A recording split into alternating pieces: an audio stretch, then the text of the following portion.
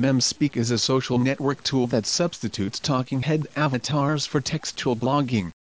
The animations are created through text-to-speech on the MemeSpeak website, from any device with a browser, and allow users to include emotions in the animations.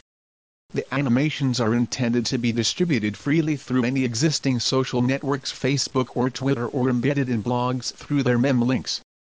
Dynamic conversation playlists based on topic, memes, and emotions are then produced whenever anyone clicks a link.